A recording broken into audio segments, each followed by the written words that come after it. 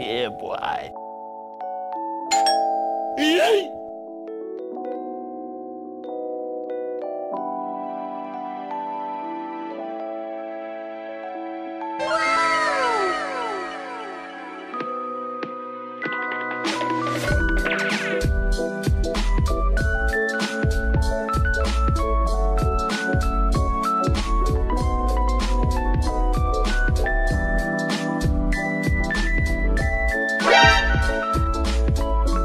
I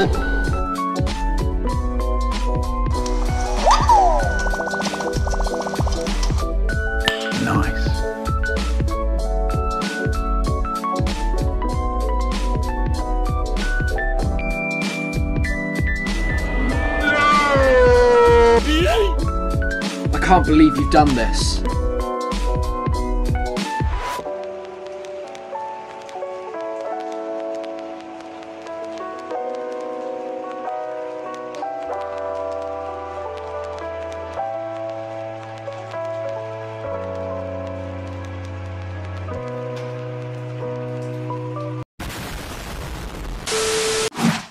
Hey guys, it's John from Lowyat.net. Uh, hope you guys are staying safe during the MCO. God knows I'm trying to do that. This video will actually be taking a very quick look at something that arrived in the mail for us and it's actually this. It's the Western Digital or WD Blue SN550 M.2 SSD. So a very quick look and explanation as to what's so special about this particular SSD. It's, it's that it's the first NVMe SSD in the Blue lineup. Typically, the Blue lineup doesn't actually come with NVMe speeds. NVMe speeds means that you get speeds beyond 5 or 600 megabytes per second.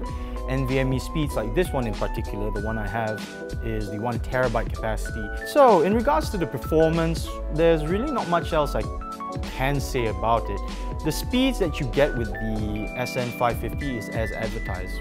If it, it says 2400 megabytes per second, so you're pretty much getting that speed. The write speeds for these sort of SSDs actually, for this SSD particular, varies because it comes in three different variants. There's 250, 500 gigs, and obviously the one terabyte. At 1 terabyte, the write speed is rated at 1950 megabytes per second, that's 1950 or 1.9 gigs, up to 2 gigs, so it really varies. Whereas the other two will have, uh, you know, will have write speeds between uh, 950 for the 250 gig, 500 gig is slightly higher 1750 megabytes per second, 1750. Depending on what you're transferring from to and from on the on the SN550, it really varies. If you're transferring from a basic non-NVMe SSD, don't be surprised if your speeds actually only cap or top up at top out at uh, 550 or 600 megabytes per second.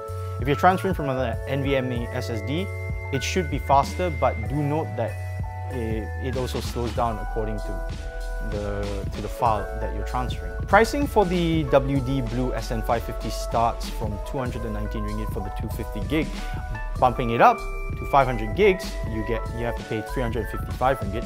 Whereas the one terabyte capacity storage that I have here, that will set you back 589 ringgit. Now, to be fair, it's not terribly overpriced. It's actually remarkably uh, well priced, affordable and reasonable even. But I would be remiss if I didn't mention that for a little bit more, you can find options that are faster and more bang for your buck if the if I if that's to be said. Uh, one such example is actually a brand called PNY. Most of you, I'm sure, would know that brand. That has an SSD that performs uh, slightly faster at three, you know, 3.5 gigs uh, read speed and 3 gigs write speed. However, with the WD uh, Blue SN550, the 1 terabyte capacity specifically, at 589, you're getting not just the SSD, you're also getting a, you know, software solutions that allow you to monitor the SSD, the storage uh, drive here uh, more efficiently. And on top of that, you get WD's uh, five-year warranty. Should I consider getting myself the WD Blue SN550?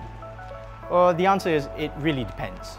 If storage capacity isn't the name of the game here, and you're just looking at a 250 gig or 500 gigs, but you, what you really want is faster speeds, I would recommend you instead go for the WD Black lineup. The speeds on those SSDs are actually more consistent between sequential read and write. They're not as uh, varied between the WD Blue. However, if storage and high capacity NVMe SSDs, well in this case, just above average NVMe SSD speeds is what you're looking for, then I do recommend the 1 terabyte capacity WD Blue, primarily because of its price point, its price performance uh, ratio, and the affordability of it. So there's been a quick look at the WD Blue SN550 NVMe SSD. If you guys liked the video, uh, do hit the like button below and subscribe to our channel. Thanks for watching.